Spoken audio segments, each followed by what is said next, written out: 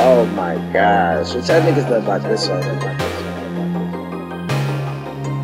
Damn, Spectric.